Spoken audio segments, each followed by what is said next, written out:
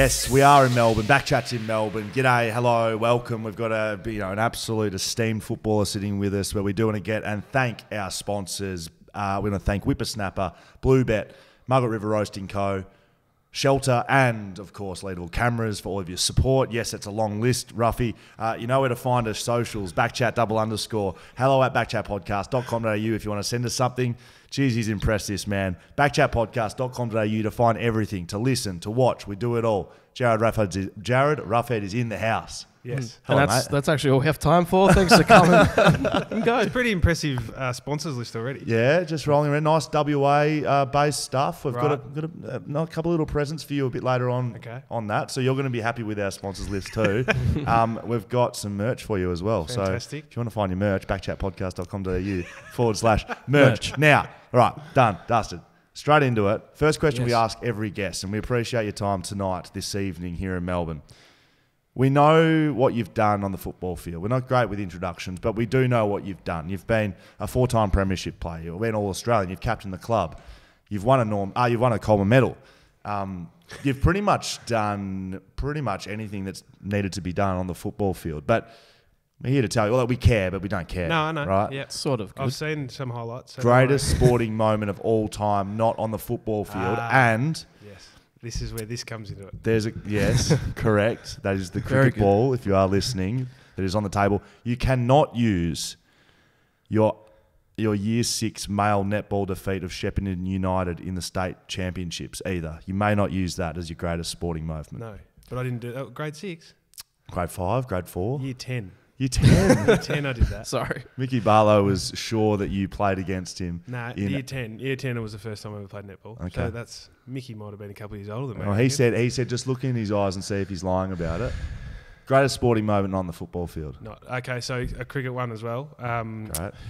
Brother and I in a 40 over one day, we made 227 together. He made a golden duck. so uh, in 40 overs, 16 sixes, uh, 16 fours and 19 sixes So you've made two twenty seven. in a 40 over one day. and your brother has contributed nothing. Uh, so as I went out, I walked. He walked on. I handed back his bat, and then the next ball he walked off with both bat. so 227. we- twenty seven. That's pretty good. Yeah, C grade, but Not out? Ah, no, out. Yeah, yeah. How'd came in. go- At, came in at? Oh. three. Uh, caught on the boundary. So uh, it was Was the day after the El field must have been Segundo won the Cox Plate. Yes. I reckon this is 07. and had a few the night before, so was wasn't seeing them well early. Dusty. But uh, yeah, so two twenty seven in a forty over one day. Do you reckon he Not could have done that against you No chance. if you were Nah. spinning him down? Oh, you would have got caught eventually. I, I was bowling leg spinners. Um, and that's how I got five wickets for 16 runs in the grand final, uh, Chewett Hill Cricket Club. Um, Yeah, it was very good. Was on a hat trick. You did ask hat trick ball. Um, no. It's, oh, so you framed just a five wicket. Well, yes, he I, did, I did not. Okay, so end of you know trophy presentation, and I got a water trophy. Had no idea it was coming, and the crowds on their feet yelling, screaming. It was great. How many were in the crowd that day? Do you think Um, what the trophy presentation or the game? the game? oh, my dad and probably ten other dads. The scorer. yeah, the scorer. yep, Julie at the canteen. All right, let's get into your stuff, mate. That's that's not bad. Two twenty seven. Well done. Mm. Well, that's that'll go in there. Josh Dunkley's um, uh, lead role, uh, a r- lead role in a ballet in Peter school Pan, in Peter Pan. Peter Pan. Oh, yeah. That's quite good. Oh yes, is that Any sporting? dan- is that just like any? is Absolutely. Yeah, okay. yeah. We'll pay Oh, it. We'll pay yeah. it. No, we'll pay It's, it. it's, it's We're very liberal athletic. with our paying of sports. You can do, you can pretty much get away with anything. But well done. So let's go right back to the start. Gippsland. Yeah. Play you play and from Leongatha. Um, you won a premiership as a junior. Mm-hmm. No, you didn't. I got dropped. Did you? Oh, Let's talk about that. So Well, you it's, played in um, the prelim. No, no, under under 16s. Really? Just- I was so this is 2000. So what am I? 13. I didn't get picked, Wow. and two of my best mates. They live in Perth, up in uh, Quinns Rock, so north. Yes. Um, one of them got picked, and still lets me know about it because I was pretty flat. As you can imagine, you think you know this Yeah. team goes undefeated all year. Um, they got the sponsors hats for after, you know winning a grand final and all this kind of stuff. But nah, so I've I've only won four premierships, and that's none to do with juniors or anything. Just the four. yeah. So you no, never won a premiership as a junior. Nah. So the four you won at AFL level, you were like, They're the "Ah, only this ones is- I've ever won. This is actually quite good. That's good. So why, why didn't you get picked? You played basketball a bit as a youngster. Yeah, and yeah, yeah. Well, I think, tall, being- athletic. you know, when, when we, we were kids, I'm not sure it was the same with you- with you, but you went from Auskick grade six straight into under 16s. So Wow. there was no 14s or 12s or 8s now. Well, there is. Right. So um, you had to grow up pretty quick because some of these 15, 16 year olds ha- already had beards. They had, and you're jumping in the showers, and you know it's a little bit um, intimidating back when you're 12 or 13 years old, Yes. not having any idea what to do. So um, I probably wasn't anywhere near as developed as what I am now. Yes. So I just didn't get picked. I was just a little boy. So you go on from there, right? And I've got a little story again, prepping for this interview. I, it just sprung to my mind. I did uh, work experience at the AFL when I was a 15 year old. Could have been younger. I was in year nine. I don't know how, what that means. 14 maybe. And uh, I was working with Terry Wheeler. Yep. Wheeler. Wheeler. Wheeler. Ex coach of the Bulldogs. And AIS. Yep. uh, Academy. yeah. And was he to do with you? Ah. right? Yeah. So I've been there at the AFL, you know, pushing papers around, making people's coffee. And Terry Wheeler comes up. He goes, I've got a great job for you. Um, I want you to clip up um, goal kicking routines for our current crop. and I just remembered I've sat there clipping your goal kicking routine and I spoke about yours. And tell me if I'm wrong. You had like a, a, a little flicky hand. Correct. And you still did through your career. Yep. And I remember seeing the flicky hand. I was like, what is this bloke doing with his hand? We went all right. I mean, you did quite well once you got AFL. They all. Uh, funnily, we were talking about this the other day. I thought there's another story that we need to talk about. So remind me later because it involves JK as well from a um, Oh, trip. No, we've got that Yeah, have got at the back end. Yes, Um, Josh has actually written into the podcast to remind us about it. Actually, so we'll get to that. right. Um, so they tried. Alan Didak was the ideal technique that everyone tried to get you to copy, and they used to give us goggles that would. would Bottom of the bo- goggles were painted out so you could just drop the ball without seeing it onto your foot and stuff like this. Right. And they'd say, get in front of a mirror and hold your hand out like this so you'd learn how to kick left footed. But mine always did this. So they tried to change me, but then they worked out that everyone's technique is different and not all has to be the same. So they did stuff me for two or three years. But well, basically, Terry Wheeler, who it sounds like he's just tried one of the great forwards of the modern era, tried to change him around. He told me after I'd clipped up all your goal kicking, that's the closest you're going to get to these blokes. that's it. Said it's probably you know it's a good experience for you, closest you'll ever get to these blokes. Little did he know I'd be out in the field getting an absolute bath by Roughead, Franklin in years to come. Don't worry, I was set up from the beginning. So in in your head, you're like thinking, "Don't do the flick." Like you're trying to stop from. no, doing well, it. you're trying to get your arm out straight because mine went over my head like this. So in the mirror, like you're trying to get this ideal out to the side technique that you see all these midfielders do now. I had no chance. You were number two draft pick. It was a pretty decent draft for Hawthorn. Roughead, Franklin, Lewis. Yep. All top 10 draft picks. Yep. That's uh, how, how did that? I mean, How does that happen? Well, was Hawthorn come out a period of not playing very well, correct? Uh, yeah, so they got uh, the three teams got the priority pick that year. So it was Richmond, Bulldogs, and Hawthorn. Yeah.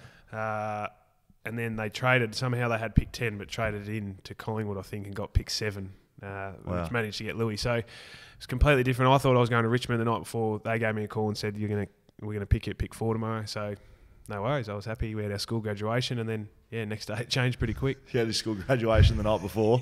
how good. Very good. What'd you wear? Nice suit. Uh, it was an open um, pink shirt with a shell necklace and a black jacket over the top.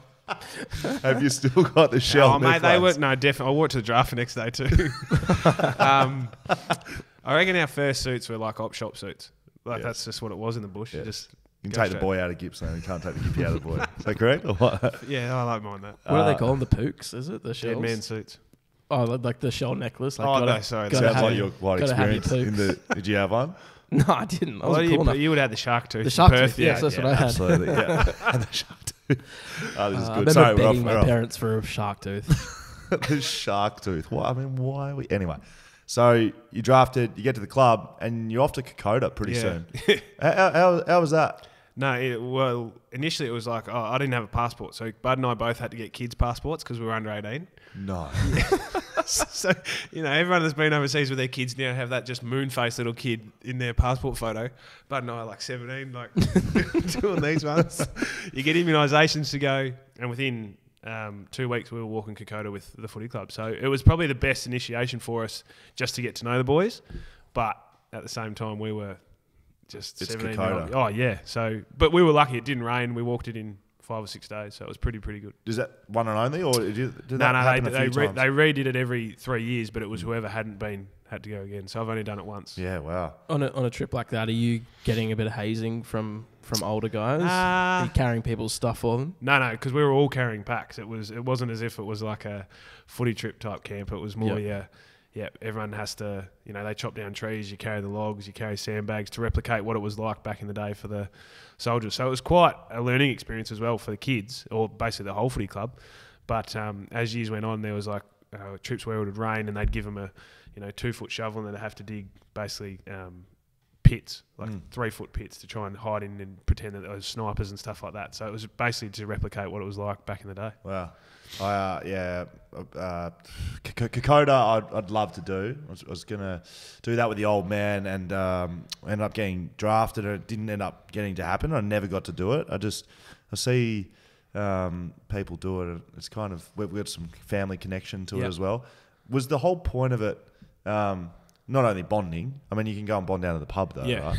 Like, you know, head down and have a couple of beers and bond. Yeah. What was it? The mentality, like mindset, was that? Oh what yeah, and it? especially with Clarko coming in, that was his first real chance to set, you know, his standards and what he wanted as a culture. So for us to go across, you know, they basically it was it was just you were walking with packs, you were carrying these logs, you were doing everything to try and understand what it was going to be like moving forward as a footy club, and it was going to take not only you know the good players in Crawf and Ben Dixon and Croady and these guys, Mm. but it was going to take forty of us because they'd been so poor for so long. So the group um, that sort of you know you would have gone with that, and then probably over the next couple of years ends up being the core nucleus of that young team that wins the 2008 Yep. flag.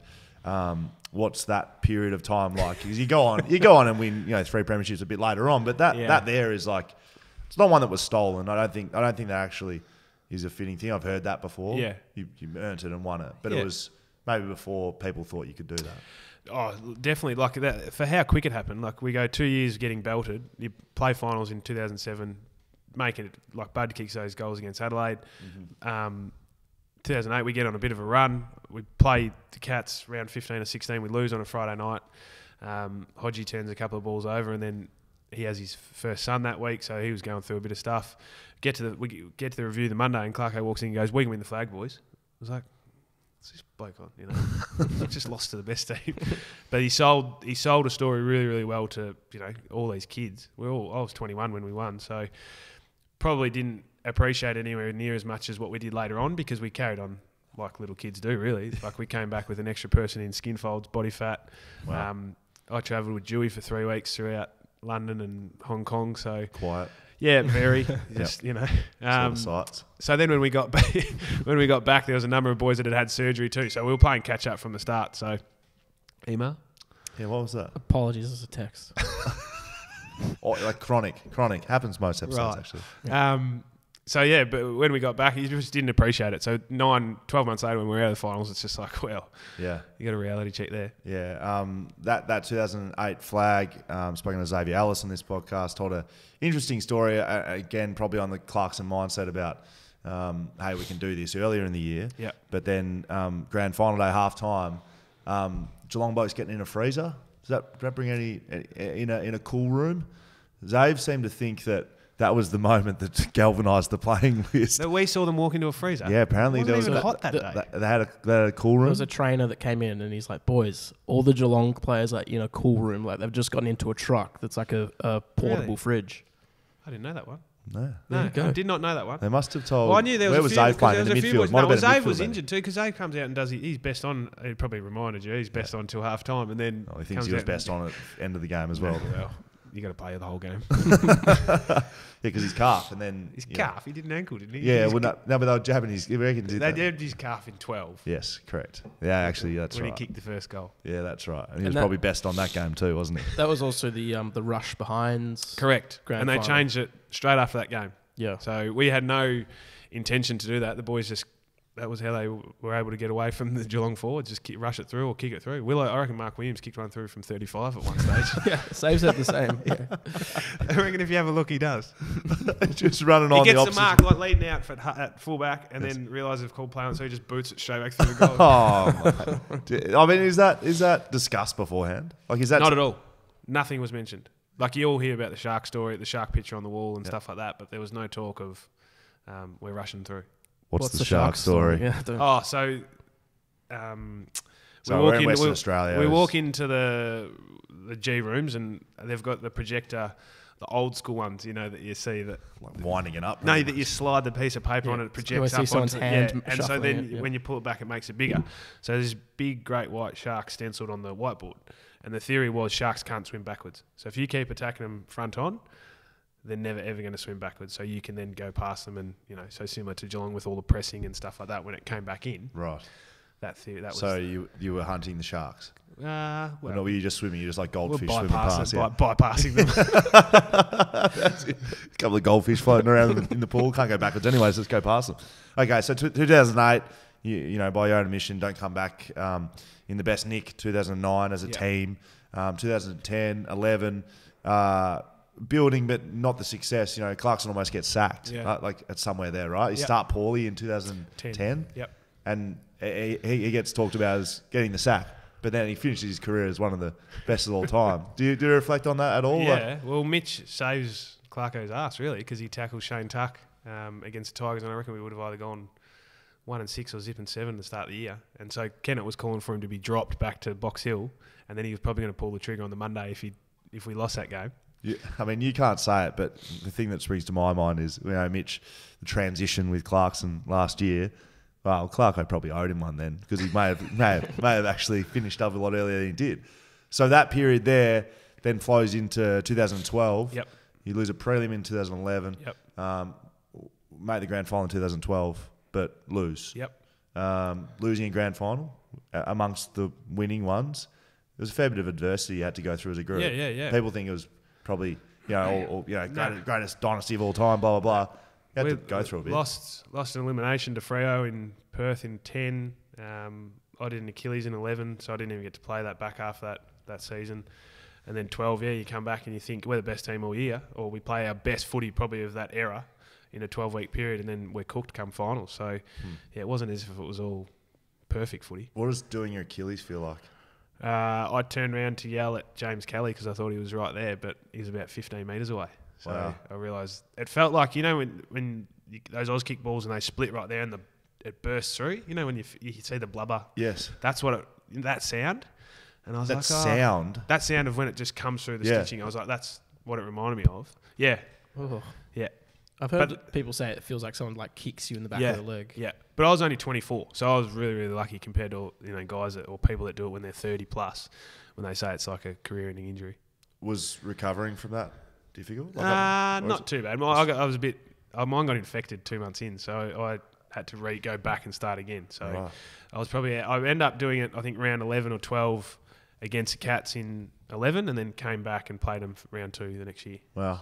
Okay, so you lose that um, grand final. Is that a lot of people say you got to lose one to win one, right? And we know you won one in 2008, Yeah, good call. but um, that group's a bit different by that stage. Yep. Is that a motivator for what proceed? Uh, what Yeah. is after? Yeah, because uh, uh, I don't know if you've heard the story, but the leadership group took a fair bit of responsibility at the, the camp post twelve. It was like, you know, our leadership group at that time was probably do as I say, not as I do. And then when they, someone uh, you know stood up and said, "Oh well, we've heard this all before, so what are you actually going to do about it?" So that was a catalyst to pretty much change everything we were going about ourselves. Sticks Lowden. Correct. Is that right? Yep. I've, I've just heard his name come up uh, in a lot of things. we played one game. It was against I you guys. I know, down at Tassie. Yeah. Played in the ruck Yep. against Naitanui and Cox. and Cox kicks three. So, I mean, I just hear him. I'm mates with sort of some Hawthorn guys, Yeah. and I hear his name mentioned a lot. I mean, he played one game, but was he an influence? Because Well, I've heard he that was the one that sa- he was the one that got up and said, and it took, you know, a fair bit of courage for him to stand up and say, "Well, we've heard this before, boys. What are you actually going to do about it? Or why do we have to listen if you're not going to do it? Why do we have to do it?" So to the leadership group. to everyone in the footy, well, to the leadership group because we put our hands up, Yeah. but then coaches, administrators, new coaches, every, it was preseason camp in Mooloolaba in the back half of twelve, and I reckon that's like, you know, the fork in the ground. It was like, right, we need to change, and if you ask any Hawthorn person, that'll be the main meeting that changed it. Wow. Sticks loud. Yeah, correct. Started a dynasty. How good. Yeah. So what what sort of things changed then? Uh, well, the leadership group started to challenge themselves um, more and, and probably in a way that, you know, if you played against us, you would think that we disliked each other, whether it be Hodgie talking to me or me talking to Geordie Lewis or even Mitch. The way that we challenged each other showed that we were going to pull each other up versus just having to worry about you know, picking on the younger kids and when they were doing something wrong. When we challenged each other, that's when we knew we were going places. Just, again, I'm just going to keep bringing these moments up. Just made me think of a moment standing next to you, playing on you, Subiaco Oval. Have been Saturday night. Was a night game, and I was talking to my midfielders, and I was giving some feedback. Well, probably wasn't very constructive. It was immediate feedback, Mm. as you do on a football field. Not much time to sit down and have a leadership group meeting Correct. about uh, midfield setup and getting butchered in the midfield and leaving us out to dry as backmen. And I called one of the boys. I no, I called the midfield group as a collective a CUNT. Yeah. You remember this? Uh, you pulled me up. couple of times, You pulled me up There's a and couple said of you, times. you can't, you can't, you can't talk to the midfield like that. And I, I looked at him like, who the fuck are you? Talk about whatever I want. There's a few times because you'd say something at the start. It's like you can't be like this. You, you're no good or something. I was like, hold on, you just settle down, chief. you're the full back. yeah, and and maybe even not, maybe the back pocket, not even the full back. I mean, I was on you, but Yeah, so it means I'm full pocket. yeah, yeah, correct. Yeah, correct.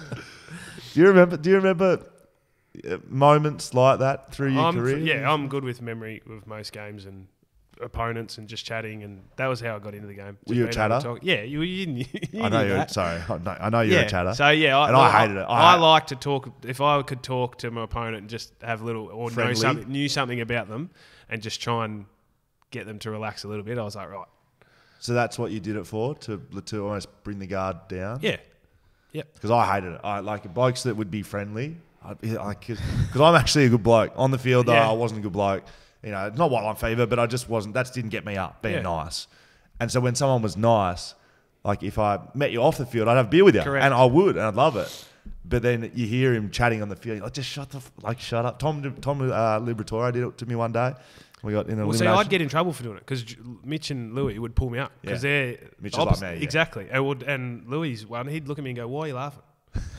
And I'd be like, Mate, "Like we're best men at each other's wedding," and he'd be like, like, "There was a game against the Giants." We were just yelling at each other. He said, and I said, "Just we'll talk about it later." He said, "What'd you say?" And then you've got them looking at you, like the Giants boys looking at you, going, "What the fuck are these two blokes on about?" It's just like, well, that's where you got that, and you know, you've played in a su- successful side. That's what you have to get to Yep. at times as well. yeah, and that's the uh, the sides that aren't successful That's don't don't have that. Yeah. Yep. So how do you how do you start that other than a, a, a meeting Oh, hosted by Luke Lowden? Is it time? Is it I how do you it's time and coming through together. Like you look at the core of our group and even your group. A lot of you guys played a lot of footy together. Yep. And so whether it be you guys in defence, you and Gov, then you've got Lecker and JK, and then you've got that midfield group that play a lot of like you've got people in each line too, and that's what we were lucky with. We had myself in the forward line, Mitch, Hodgie, Lewis, and then Gibbo in the defence. You had all areas covered at any given time, which I think's a bonus as And well. that's that was the leadership group right there. that was the five right there. Hmm. Yep. It's funny you saying about um being nice on the field because uh, we spoke to Griffin Logue, excuse me, and uh, when he went up to up to Buddy the first time, he said something like, um, "Oh, those those boots look pretty good. Like how how how you going, man?" And just gave him like Trying to donuts. Yeah. And uh, he said to him, like, mate, if you want me to get you up on the big screen, I can, but don't talk to me or something like that. That, uh, Bad had some good ones. it was a sledge. He was wasn't very good. He still is. a- it was it was uh, arrogance, but it was it was allowed. because- Warranted. yeah, warranted Yeah. arrogance. Uh, correct, because you know as a defender, you know you're playing on buddies. You know the best player in the league. Yep. And so you know that, and you've prepared for him probably longer than a week. Like you know, you see it three weeks in advance. you know the drill. And then when you roll in and he's just like, I'm going to kick 10 on you, you're like, that's like genuinely a possibility. yeah. So, what was it like playing with him? You get drafted in the same Oh, year, you it. live together as a young guy. Loved it. I mean, yeah. Are you yeah, Batman like and Robin? Oh, You're know. different blokes and you're different players. Yeah, but oh, you can call me that. I don't Oh, no, I'm just asking you. Someone said it. Well, someone someone put it up the other day. So It was like best duo ever. I was like, oh, that's pretty nice to be considered. Fair, Charlie? Fair? Charlie's a Freo fan. He's, he's stats Yeah, I, I reckon man. that's fair. Okay. Buddy, buddy Char- and Ruff. Charlie's Charlie. confirmed it. Yeah, see, Nah, that's it's I'm- confirmed. Thanks, Charlie. Look after your ankle, chief. Charlie's broken his ankle. Um, oh, I mean, nine years to, to say you've played with probably one of the best five players ever in the game, you'd take that any day of the week. So, um, yeah, to see what he was able to do in those first nine years, and then to see what he's gone, done at Sydney, um, yeah, freak. Did you have an understanding on the field, um, Nah. you know, from, from, from a football sense? What do you mean, nah? Nah, like it, it- the, the best thing with him was that his instinct. Yes. So, uh, and then you throw Cyril in the mix, and it's just like you've you fit in. You just you just work because you know that defend defensive units are going to definitely have three of you on each other. So you're never going to get free. So it's either one of us will get free or someone else in the forward line will get free. Yes. So being able to, you know, you walk down and then that 15 granny against you guys, you've got Gunston, Breust, Rioli, me. Oh no, Bud didn't play that one. Sorry, the 13 one. Yeah, 13. So you got Yes. those boys. And it's just like any one of them can get hot that day Yes. out of six. Like whereas some, now you've got defensive forwards and resting ruckmen and stuff like this. yeah. Right there, you had five, six genuine forwards That that could win five. you a game. Yep. Like Punky kicked six on the weekend against the Eagles. Yep. So he's still doing that at 31.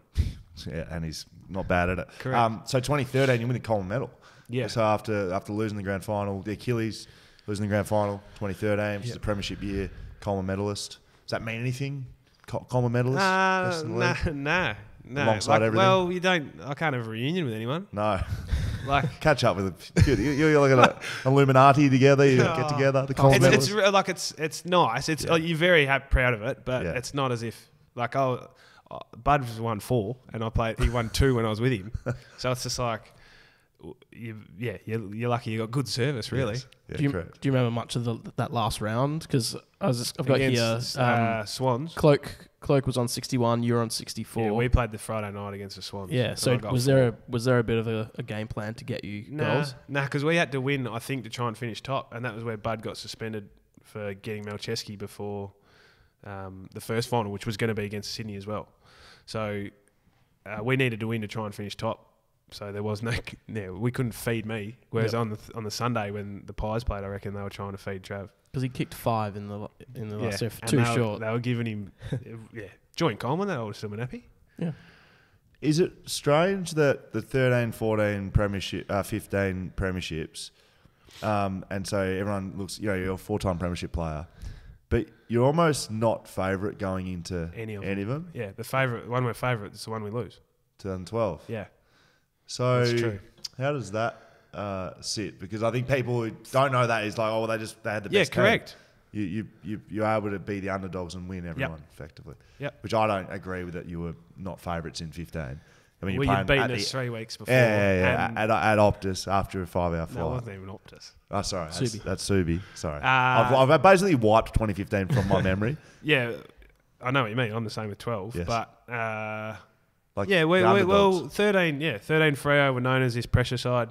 Swans were the best team. They'd got Bud. And then, yeah, you guys were the best team in 15 leading into finals and had beaten us. And we had Mm. to come back and play two more before playing you. So, um, and then the Geelong one, as you said. So, yeah, it was nice, I suppose, because everyone thinks that we're just, we just rolled through three years and didn't lose a game. There's some pretty heavy stories in there as well.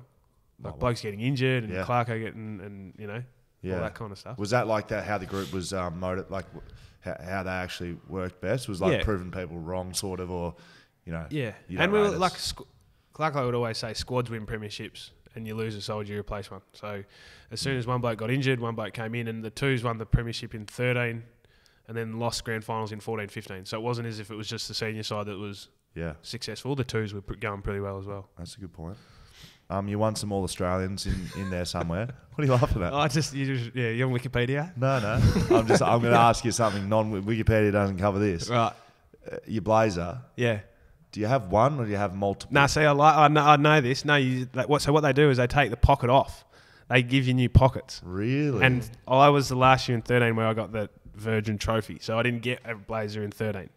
what's the Virgin Because trophy? Virgin, it was the Virgin Australia All Australian team. Yeah. So all it was was this trophy that had the All Australian team on it. That's it. And they didn't. No so blazer. if you, you go around to Pav's house or these blokes that have won multiple Australians, I didn't get my blazer until 14. So I don't, the blazers only started in 14. yeah. See, this is this is what I'm talking about. Don't, Wikipedia doesn't Yeah. cover this shit, mate. Okay. Like, right, we had to go and get Brad Sheppard's blazer from AFL House. He he'd been missing one for two years, and Backchat got him his blazer. Respect. Yeah, correct. So I, I don't care about you winning the All Australian. Oh, I care right. about the the blazer. Yeah, so I've got I've got one. So So the, bo- the guys like they Danger. don't have one from 13. Like, that's No, outrageous. so well, so what they do is everyone has one blazer, but every year, so if you're danger, they just rip that pocket off and do a new one with that new year, and then put that back on. wow, Mm. this is Seems this, cheap. You know, in actual fact, speaking of it like it's sounding cheap, the um when we did get Segue. Shep's blazer delivered, Yes. it's like someone at AFL HQ just looked around for an archival box and was like, "Yeah, chuck it in that and ship it." Like it was literally in this empty, So half-empty he did what? archival He- box. Is he two time or? Uh, one time. But that year was COVID year, So- and all the interstaters didn't get flown over for it. But then they just didn't send their Right. blazers out. So Daniel Rich doesn't have one. We've seen that pop up on socials. Liam Ryan doesn't have one. No, th- but two years after the fact. What are you What are you saying? I'm about? just like, Tell me. do you reckon Shep's ever going to wear it out? No, And I'm, I'm the same. Like I I know what you where you're getting at. he didn't ask us to get principle. it. We Right, heard that yeah, he didn't. thank you. Yes, Yeah, he- we heard he didn't have it, and I was like, "Hang on." He didn't want it. Yeah. Well, you know, wants it, but also was like, "Oh, well, it just is what it is." Yeah. Like, no, no, no. We're gonna get to the bottom of this. There's no All Australian reunion that you'll rock up and go, oh, that's you. Well, yeah, you know? Imagine if there was though. Good party. Um, Alastair Clarkson. I want to talk about him. Yep. Um, yeah, I, we've heard some stories along the way. He's, you know, he, he, he could fly off the chain a little bit, but from from afar, like an incredibly successful coach. But um, was he a what sort of coach was he? An educator? Was he a motivator? Was he a was he a bringing people together sort of guy? Was he a you know Oh, he's game plan Probably guy? a mix of everything, really. Yep. Um, you know, he's an innovator when he he travelled overseas, and I reckon he, we used to have a reflex box that would have a hole cut out of it, and we'd have a camera just facing our forward line, and that's how we would review our patterns and stuff like that. This is early days. So there was no behind the goals. Uh, before. behind the goals vision came in in 08 or end of 08. Yeah. So and that's when it mirrored up, and that's when teams started really get, you know, Ross Lyon would Why just watch it a, why was it in a reflex box? because you weren't allowed to film other parts of it. So this is you had to in your coach's box. So we had to hide the camera in there and then film and watch us that way. Wow. You know, it's the same as going to a game and just holding the camera like this. Yes, but you So- weren't allowed to. Correct. That's great. So uh, need to find he'd go to he'd go to England and bring back the soccer defenses and whatnot that we implemented. Um, he was he was different with some of his um, pre-game stuff and whatnot, like dressing up as a. Um, there was one game where Sully, Mitch, and Hodgie didn't play, so it was effectively changing of the guard. So we're playing at um, ANZ Stadium, and he walks in like one of the um, Night. um, Oh, the people on at Buckingham Palace, the guards. Like he had the black, like like the black top hat thing. Yeah. so he'd red gone. coat. Yep, yep. And what is this? What am I? What am I selling here? Did, We're- was we're- everyone? we're- like we're thinking what? He's had a breakdown. Like I don't know. Like I don't know. Guarding the Queen or like you know. But it, it was changing of the guard of like all these old guys. This was the first time, and he hadn't. Play, or coached a team that didn't have anyone that was originally there when he first got there. Like we were drafted, but Did he come marching in? Um, no, he came. Yeah, it was. Have you played ANZ and the, Yeah. the Pullman across the road? So that meeting room, he comes from behind the. Yeah. So there's some different stories like that. that. But he, Committed. yeah, yeah, and you know he learned guitar after he got crook, and he was writing songs about different players to different tunes, and Send recording and sending no, them he'd play them in front of us. live. yeah. So, Was he good? Ah, no. he, he mad Bruce Springsteen fan. So Right. like has driven across America and probably seen him ten times and Wow. yeah, there was a framed Bruce Springsteen, you know, um, thing in the meeting room at Waverley Park. So, um, but his best trait was able to keep us on edge, no matter what. You know, we'd go out and play a team that we should win by 10, 15 goals, and he'd make sure that you know you have to do that. You have to try and scar him for the future, and keeping us on edge that we never get ahead of ourselves and whatnot. And you know, reviews after big wins, we'd feel like we'd lost after we'd walk out because we weren't playing the game the right way or how we were supposed to play. That's what I want to ask next was the motivation element. Like Yeah. you're winning a lot of games at that stage, and you, you come up against sides that, like you said, you should beat or can Yeah. beat quite easily if you play well. Was that driven by him or was it playing group? Yeah. Was. Oh, yeah, Yeah, a fair bit of it was set by him. And then, yeah. But we were, like- yeah. So he was, early in the week, he would set the tone and understood that, yeah, this is what needed to happen and it wasn't going to be an easy week. You know, we'd, he'd have a block of three games up on the wall and each week he'd tick one or two off. And, um, and it was just about mani- wait, waiting to get to top four because if you give- get to top four, you can give yourself a chance. Sounds like Simo was taking notes. while I was all, a lot of them would have all I was going to say right now though, Yeah. there's like this spider web of Clarkson Yeah. coaches around. Yeah. Um, It's like Gregg Popovich in the uh, in the NBA. Yeah. Just Yes. coaches everywhere. Um, did did he ever? When's he going to take you to the Super Bowl? Uh, don't know. Isn't that wasn't Well, that the all five of us are done, but yeah. isn't that the promise? Well, there was a promise. So he tried to get what? the tickets the next year. So it was, he told us uh, there was a story. I think he he the wives went to New York and he paid for some of it or did something where it was the coach's wives or something back in thirteen. And so 14, we heard about this and got him in and said, well, what if we win as Leadership a leadership group. group? He goes, I'll take the Super Bowl. We're like, all right. So we won, and we'd been in the meeting room after we won, pulled him into the room straight away and said, you told us we're going to the Super Bowl. Day of, like you just won. yeah, like 10 minutes after that. so um, he tried to get the tickets that year, the next year, but it would have been salary cap. So Yes. he said, "Well, wait till you'll retire." But now it's you know there's a there's some probably can't come because they'll be coaching and um, Yes. some are in the media. Just take him off him singularly. Just uh, just give us a Super Bowl ticket. I'll sort it out. Thanks. Yeah. Just send them in. Well, the next couple of years are all right because you got Arizona and then Vegas. So Okay, maybe Vegas is the one. Maybe quiet as well. what about keeping the group together then? Like, what about keeping all these players together through Yeah. a successful period? You see a lot of teams, um, yeah, maybe get split up, or they don't win as much as you guys. But temptation must must have been there to yeah, be traded, or to I don't know, go to other clubs, or ask for more money from your club. Do, do blokes get paid less? yeah. We we had a chat. I reckon it was halfway through six or seven. It was like you take less and stay together, you'll get looked after post footy. And so that, in theory, it's oh yeah, we'll do that. But when you see everyone signing and no one leaving, it was like well, and we're on a good wicket, and it, you know to leave back in the day, the salary cap is nowhere near what it was, and blokes weren't getting money like they are now. So Yeah. um, to leave for a hundred grand, it's fifty, and you got to move into state or you got to go somewhere else. It's just like I'm, I'm pretty comfortable in where I was and whatnot. So um, we were lucky, and then we were able to add too. You bring Lakey in, you bring Gibbo in, you bring Chip Frawley in, um, McEvoy. After this is obviously after Bud leaves, you get a few of those boys in. Yes. Um, but uh, you know, the one thing Clarko said is if you take less and win together, you're going to be looked after post footy. And you know, if you you finish up and you go for a job and you've got a couple of premierships next to your name versus none, they're going to go with the bloke who's got premierships, and that's what's happened at, for me anyway. 2015 specifically. Yep. Um, yes, like I said, I've put that to the back of my memory, but we can discuss it for a little bit while you're in the house. Uh, are you okay? So, so you, you lose in the qualifying final. Yeah. Subiaco. Uh, you got to come back two weeks later and play Fremantle. You get that done. We were, I, I personally was just cheering for Fremantle because Hawthorn at the G. It's and you know th- coming into your third crack at a grand final, fourth actually in a row. Um, an experienced side. Yes, we'd beaten you, but you know I don't know if we sort of thought that we would beat you at the G. Are you when it, you get do get through that week coming into the grand final? You, is that how you're thinking? Is um, the experience element and knowing how to get it done in a grand final is that spoken about or just Yeah. known through the playing group? Yeah, yeah. So uh, straight away we beat Freo, so we get an extra day on you because you had to play the Kangaroos on the Saturday Yeah, night. I watched it. That's right. So Friday night. we get to watch it. We get to come back. We're already home, so we know what happens. Um, you guys win. Um, then there's the Brownlow the Monday, I think.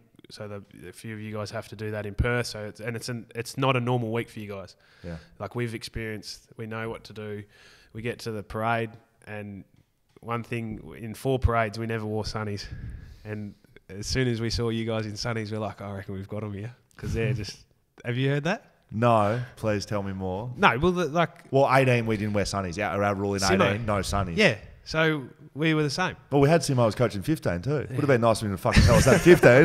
if, that, we that, did- if that's so all did- it we- took. I think we may have rocked up in, but this was just a small thing. Like Clarko Yeah. was like, look, in, look at people in the eye that have come to, out to see you in the parade, and I reckon uh, Swans must have done it in, in 14 as well. Like it's like the you, you see him with sunnies, and it's like, all right, we've they're a bit confident, or they, you, Clarko made you feel as if they were confident. So Some people say the uh, the hands on the cup, like the two captains Yeah. hold it up. Whoever the was last- there longest, Yeah. Have you seen that one a couple of years ago? Koch Yeah. and Tex. I've seen that. Um, but you blokes, who's wearing the sunnies? Yeah, well, that was just one Yeah. when we noticed, and it was like, oh, okay, yep. What about the actual game plan? Um, Johnny Wardrop came to our footy club post that and spoke a bit about.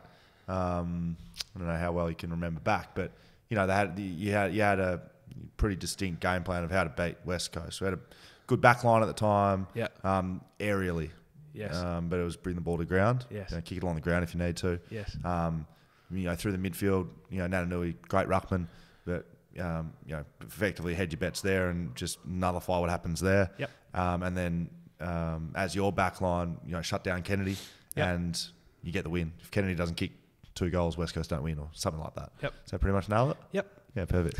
and then you executed it. Uh, yeah, well, you guys had implemented that Wiggles Web or whatever it was. Well, that was- back I mean, I know, was, I know, but that was what it was known as. So you guys would always start on the outside and centre bouncers and wouldn't let us get to the outside. Yeah, so, can you tell me what the Wiggles web was from a, an opposition? So what we'd notice is that centre bouncers, you would always be on the outside of your forwards. Yep. So if the ball was kicked out of 45, you were obviously on the outside, first ones to get it. Yep. Whereas if it got kicked in, you could all swarm because you never know who was going to Yep. mark it because it was never directed at any one person. Mhm.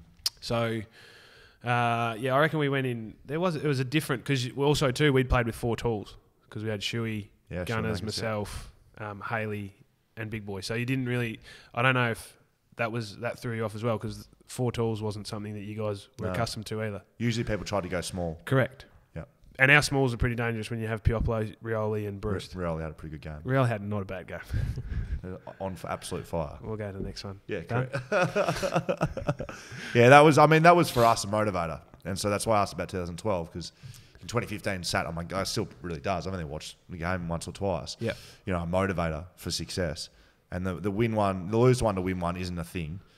I don't No. think, but it does help Yeah. because then 2018 we don't win the, wear the sunglasses. Yeah. Um, We were lucky though because 12 you don't like it doesn't hurt as much because we were able to get revenge two years later on the team that beat us. yes. So if you were able to come up against us and beat us, I reckon you'd say that 15 you'd be okay with.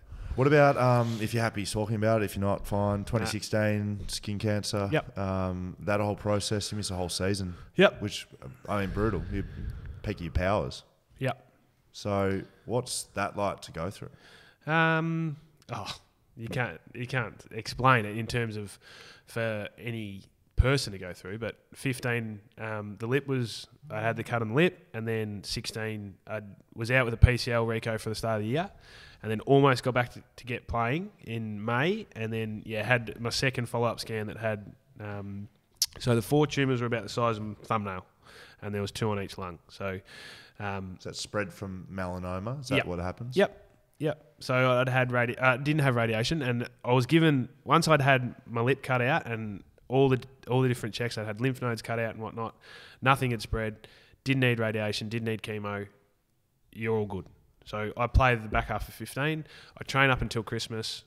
Um, I get married in January, and then do all rehab. Think I'm going to play in a couple of weeks' time because it's Lewis' 250th, and then yeah, just everything gets thrown on its head from there. Do So. you, do you think, um, like, is it like mortality? No. Like, thoughts? Nah, nah, Right. no. nah. If you ask my wife, she would, she looked at Google, I and that's the yeah, worst thing you can yeah. do. I can imagine your wife and Yeah. family and mum Yeah. and dad and whatever. But nah. So initially, footy instincts take over. It's a footy injury. How long have I got? You got 18 months. All right, cool. Let's go. So if I got 18 months, it means I've still got another year after that on a contract. So I'm still right to play there. if I'm back in a little bit of time, I can get this amount of games. And so you just click into rehab mode. So, but this is a different type of rehab. You're going into a hospital. You're going to get a treatment. There's only two people on in the hospital at the time because it was a trial. Um, in a sense, you're a bit of a guinea pig because no one else is on it, no one else is experiencing it. The, the other person was 70 plus, I'm 29. Um, so you're going through all these different side effects too. You're basically ringing the doc and the nurse every day saying this has changed, that's changed. Right.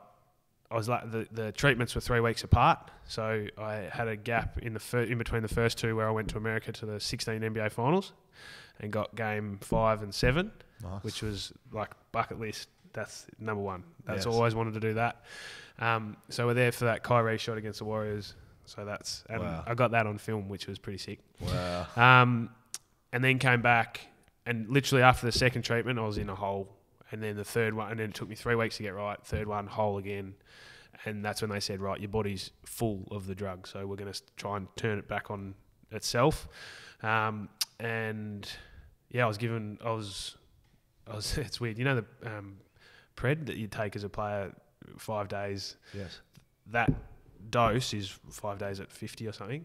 I was on like 200 to start for like Wow. to try and get myself back to feeling normal because I'd walk laps at Waverley in the cold in a singlet and shorts and people are like, what are you doing? I was like, I just need to feel like I'm alive because you're just in a hole. So Yeah. When, I, s- when Um, you say in a hole, like, what does that? What oh, is like no, body I, I couldn't walk. Like I had.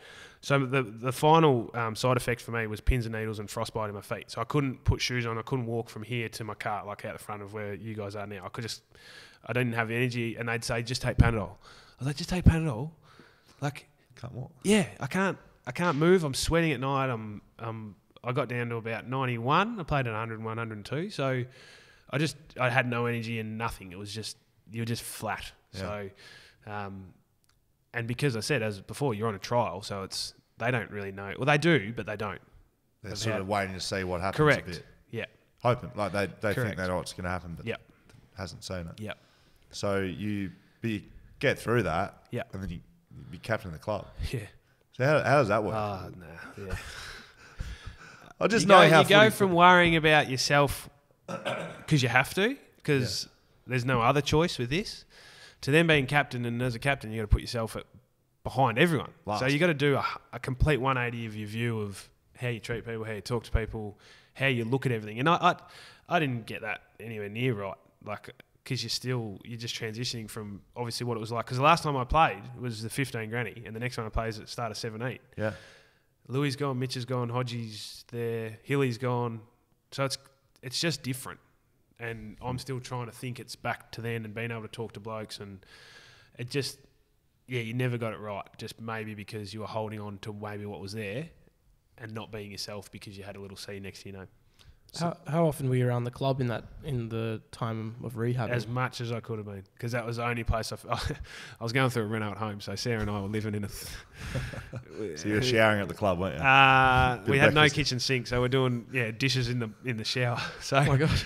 um, I was there as much as I could have been. So interstate trips, they the club would take me and stuff like that, just to because that was as normal as I could feel Mm. in terms of just being around people um, that treated me normal. So does that sort of lead to captaincy? You think, like just your Um, presence around the club at nah, that time? definitely not. Nah, I just think, I think for me, um, it was my safe place. Really, um, it was the only place I could go without what I felt was like prying eyes. Oh, there's that bloke with, there's that footy player with cancer. Or there's that, you know. So you're a poster boy for something you don't want to be a poster boy for, but at the same time, you know you give hope and strength to others as well. So you still have to put in perspective a little bit. So the captain side of things.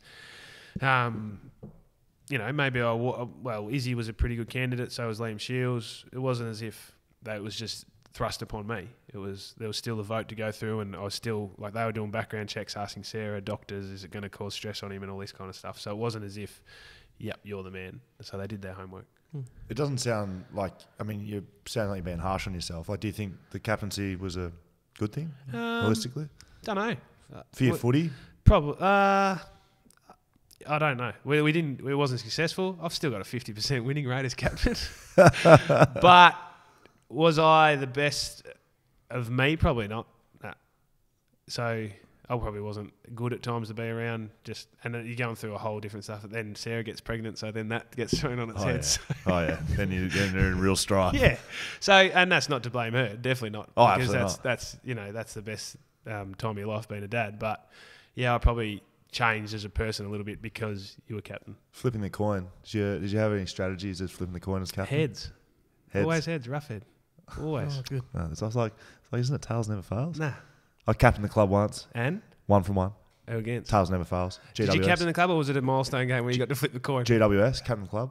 Um, Respect. it was a uh, round two of the preseason cup, I believe. and, Oh. and we took, uh, and we took, oh, oh, and we took, um, and we took. Uh, Yeah, potentially I, know. was the oldest there. Uh, Yeah. We took just the absolute degrade, not degraders, but I know Scully was captain. Gave so- everyone a chance. yeah, Everyone absolutely. a taste of it. Yeah, and I played like absolute. I reckon I might like that. If, if I could have been subbed off, I probably would have been. I played like a dog. I was coming back from uh, injury or sickness or something. So something. you had to play, is what you're saying. yeah, absolutely. But, like I was like given the opportunity as a tried to say- captain. yeah, that- like yeah. it was Simo's way of sort of saying, you know, with you know, rate you as up and coming and leader, and Yeah. you know, here's your opportunity to lead. Did not lead. No, I did not lead well. What, Um, what happens? Um, how much of a difference is on game day from like not being a captain and then captain? Are you thinking any differently? Or? Uh, well, uh, in tough, or you- yes and no. I think when you when you're captain, you think you've got to do stuff, and when there's when the you know the game's at a, a point where you think you've got to win, you feel at times like you've got to put yourself in the right position. Um, whereas you know when we were going through our good times, it was just like you don't worry about you know trying to be best on ground or trying to do. You do the simple things, and the the the, sim- the best you do the simple things well, and the best thing will be the win at the end of the day. Not you thinking I have to be Norm Smith or I have to kick six or I have to do this to be justified. If I do the simple things well, the best thing will be the win at the end of the game. Talking about keeping the group together, so you, you mentioned it before. As you come back as captain, all these blokes have moved on. You know, Hodge, Mitchell, Lewis, Isaac Smith to an extent. You know, you know post that. Yep. They're all sort of guys that have transitioned out late in their careers. Um, how do you feel about that and uh, and, and not Oh. finishing their careers at Hawthorn? Yeah, look, as a footy fan, I didn't like it. Um, But as a teammate, Ah, no, I didn't like it. But that's business. And towards the end of your footy career, I had the same, like Clarko said the same thing to me. Do you want to be traded? And it was like, I was still captain at the time at the end of 18, and he comes to me with five. And I only did one hammy, and it was that week after he asked me in my whole career. So stress or just Really? thinking- yeah, one hammy. Did it against the Bombers on the G, and I was just like, why have I done this? And then I worked out the chat that week and everything like that. It was just like, yep, this is why. So, um, and I was 32, and after everything I'd been through a couple of years before, I was like, I don't, I don't want to go anywhere else. Um, and you know, did it cost me in the end because I got dropped to the twos? No, I don't think so. Um, I'm the only one at Hawthorn that got a send off. You know, none of the boys, uh, whether it be COVID or the boys that got traded, none of them got to say goodbye. Like they I had, did. have they have laps of honour? They did um, one on the post? weekend. Strato, Lewis, Birch, and Poppy did one. Really? Yep. Do you find that interesting? Lap of honour? Is there Well, any- yeah, I'm, I'm interested because you still haven't got yours. Just wondering about that. Oh, um, well, he's working at Fox Footy, so he can't. uh, well, I absolutely can. You could just do the boundary commentating. Maston Lewis as well, car. Premiership players. I mean, I want either. Anyway, not that I'm a bitter runner, about it. Hey, Maston's a runner. yeah, he is. They've brought him back. He's he's loving it too. Who was the other one? Did? Energy player, Lewis Jetta. Okay. What about the kids? Actually, I'll, I'll, yeah, I'll that's, well, that's the photo that they got on the weekend. So Hodge take, uh, sorry, Lewis takes four boys, Poppy takes his girls, Strato girl, and Birch boy. So Yes. yeah, yeah, that's more me. I'm a footy fan. Love footy. Grand finals. Watched them my whole life. Played for one club. Won a premiership with them. It's actually about my kids and Yeah. doing that. But Yeah. anyway, we'll With, move on. um, we got we got to start. We start getting through this. We've Yes, actually got a special guest rolling into the. Um, One quick Studio, one on your last game. Yep. I watched the highlights before. oh yeah, Do you have many? Well, you, you, you said you can remember lots of details of Yeah. games. The crowd's just gone crazy. yeah. like so they weren't gonna they weren't gonna open up level three if I didn't play Wow. because it was Gold Coast Hawthorn on a Sunday at four forty. what? So I didn't get a clip on the ticket. Gil. I did. no, I well, heard that. Yeah. So I got told if Ruff wasn't playing because it's his last game, we expect a lot of Hawthorn people to come. If you don't, we're probably gonna. And they opened it. Yeah. And they packed it. Yeah. That's yeah. That's unreal. So yeah, the crowd were nuts. Yeah, Yeah. four forty on a Sunday. You're thinking no one's going to come. Against Gold Coast. Yeah. What about post career, mate? If I'm um, transitioning out, you're now with St Kilda Footy Club. Yep. Um, what's your role there? Um, I've- I- I- I- have you got a business card? No, I don't, but I wish I did because it says football operations assistant. Football. Why are you laughing? football operations assistant. Who- Yeah. So who's who's football operations? You're, Danny you're assisting Sexton. someone. You're Danny assisting Sexton. someone. Yeah, but it's a way I think before COVID times. Yes. Come on, in you come. Over. Go and sit over there, please. Hello, Matthew. Matt Spangher just walked in, Um, ladies and gentlemen. So before, so it was. It Beers was in a the jack fridge. of all trades, the fridge, jack Spank. of all trades type thing. So coming in, I didn't really know what I want to do. Yes. Um, so you know, I didn't want to coach because if you sign a three-year deal and you're assistant coach and hate it within six months, it's like, what? That's going to be a waste. Um, so help Max King, help forwards, help just learn the business, and then I've worked out in the three years list management is what I want to do. right, list management. Yep. Come over to the West Coast. We have that's it's open at the moment. Correct. Yeah. Okay. well, there we go. I go. got Voz's number. And then a couple of best mates living up north. And well, okay, we heard it here first. Well, you can list management. You can probably live in Victoria and just travel to Perth. Yeah, maybe. What do you mean, maybe? Oh, I was just saying you could come over to Perth and we show yeah, you every show couple of weeks. ropes. Yeah, yeah, yeah. That's okay. I'm ha- very happy with I've that. thought about it. Um, a couple off me before we get to social media. Yes. Um, I'm just going to go straight with this one because this is just hot off the press. Um, you won a bed Saturday night one day. Um, you best on ground. They gave you know maybe in Sleepy's uh, bed giveaway. You made someone buy it. I am my you. brother. yeah, he's going to earn his crust. Well, you just- you got it for free. Mate, if I t- uh, uh, someone's told you this, which is good. If if that's Cameron told you that, let's just look at the what outweighs what. And I was young at the times, and yes, I sold him a free one. I also asked him for a twenty dollar ticket when I bought him, took him to the wrestling when I was eighteen. The boys would have told you about that too. Sitting in the box, I was like, "Oh, you got that twenty for me?"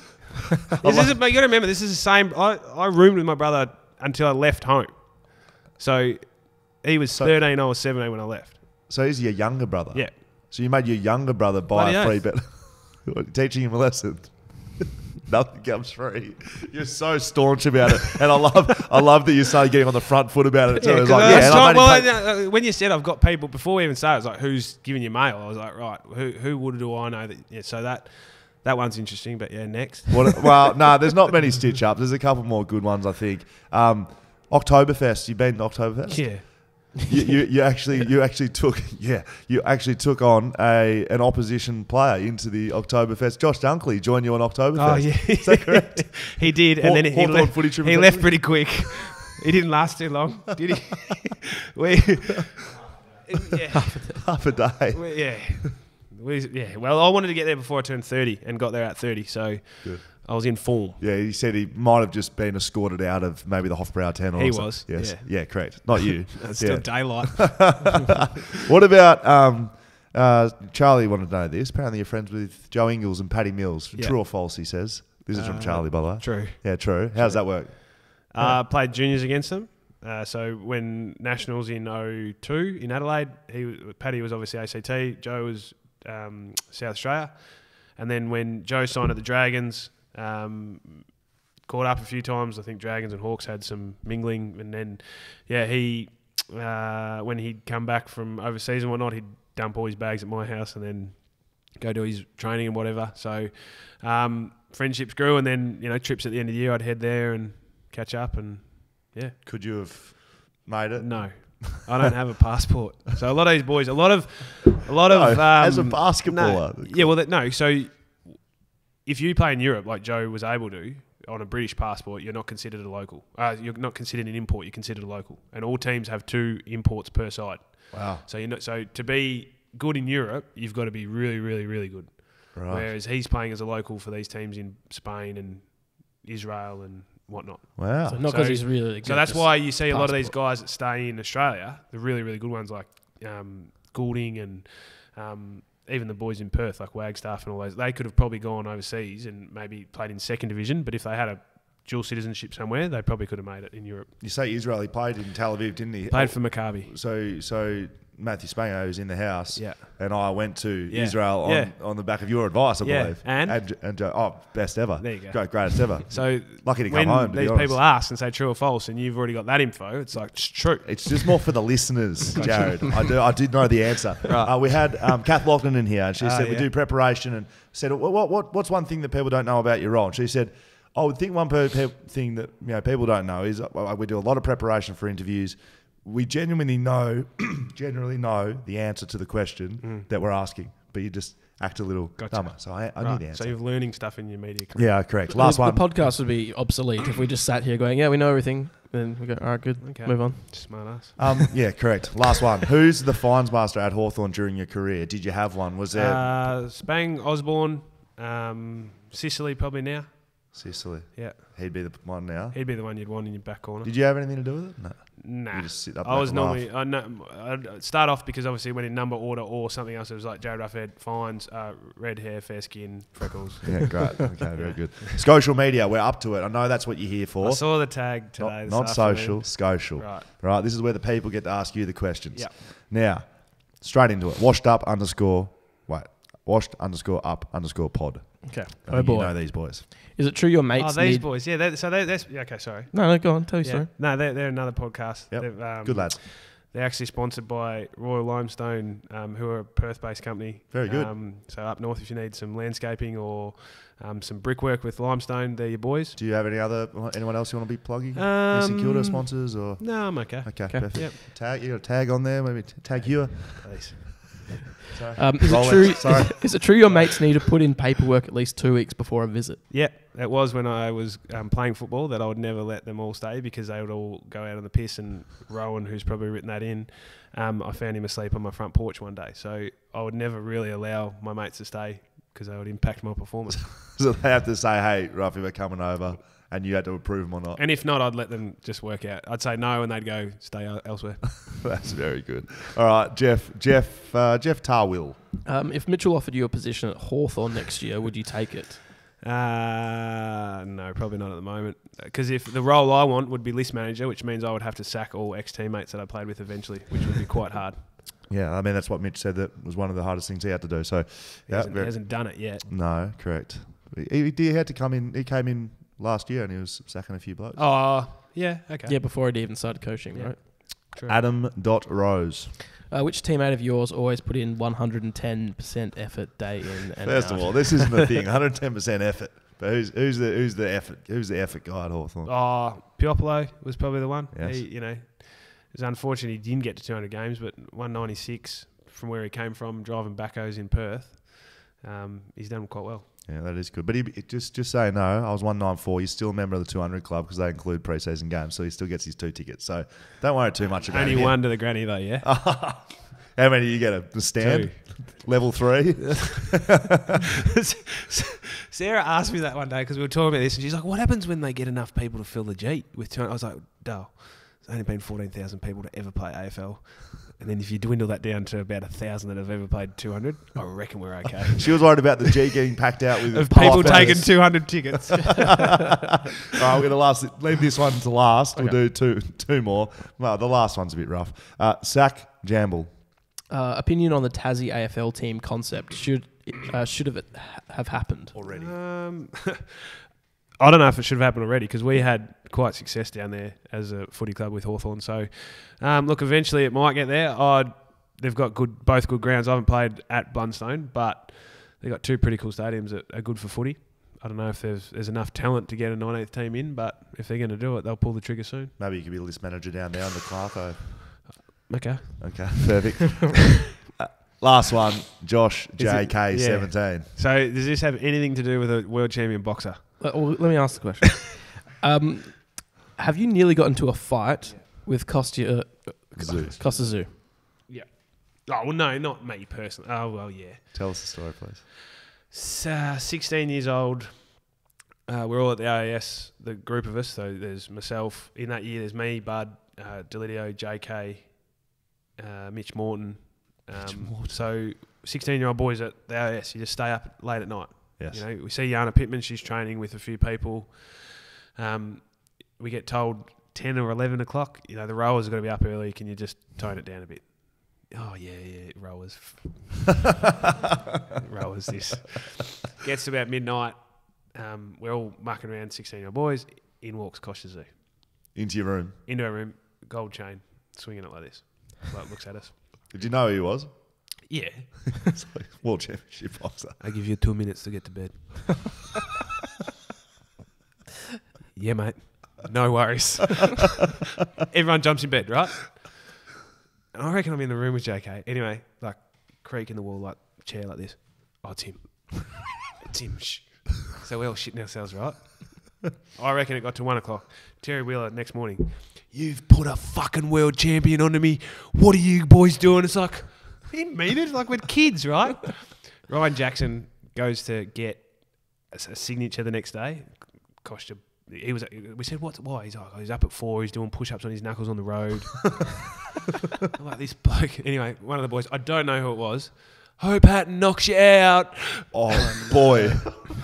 Like all thirty of us are trying to apologise, and someone out the back. Hope Hatton knocks you out. he was right, but that's mate. Well, jo- Josh tells the story that you you you you tried to fight him when he came in. Yeah, Would I? No. no, no. That, mate, literally, like, I'll give you two minutes. yeah, mate, no worries. I'm off to bed. There the- takes the Costa. chain as That's well. when he walked in, and there's like, we're all sitting there, and oh, someone saw him first, and like, as you turn around, it's like, and you're just like, what am I doing? Oh, that's unreal. All right, th- I think that's a good place to end the pod. Appreciate your time today, Ruffy. No worries. Um, been outstanding. Thank you, mate. Well done, guys. There we go. All done and dusted. Back chat, double underscore oh, on before socials. we go. Oh, no. Oh, yeah, yeah, yeah, yeah, yeah. Ruff, we got something for you. Ah, now, assuming you're a double XL here, mate, we got. Look at this. Assuming. Yeah. Well, I'm What a are double, you? I'm a double XL. Okay. Yeah. Okay. Oh, Happy now? I'm just a medium. Yeah, mate. Back chat merch. Fantastic. Look at this. Hey. Yeah, I'll Hey. rock that. There we go. There we go. Have that one. And what else we got down here? We- Oh, we'll give it later, but there's a whole box of merch for. We would like, if possible, we have Backman merch. Oh, yeah. So you know back. Oh, so you want me to give it to all the defenders? not all of them, just just the ones that just the And be- ones beers.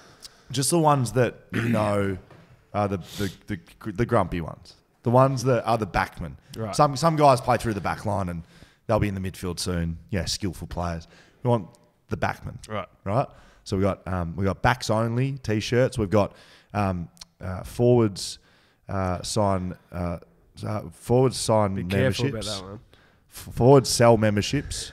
Mids sell sponsorships. Backs win premierships. Yeah. Right. So you, you, you haven't had many of those ones, or you haven't repeated that often, have you? it, was the midfield's fault. We got that I've- as well. I've heard you say that. Okay, very good. So we're going to get those to the St Kilda boys. Righto. So thank you very much, mate. Appreciate it. If anyone wants any of that merch, by the way, Where Back do you find it? backchatpodcast.com.au forward slash merch. Thanks to our supporters and our, our sponsors, Shelter, uh, Whippersnapper Distillery, Margaret River Roasting Co., BlueBet. Yeah, well done. BlueBet, and of course, Leederville Cameras. We love you. If you want to find anything, you want to listen, you want to watch, backchatpodcast.com.au. See you next week.